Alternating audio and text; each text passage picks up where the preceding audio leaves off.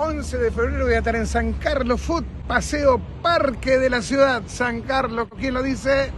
El brujo se queda.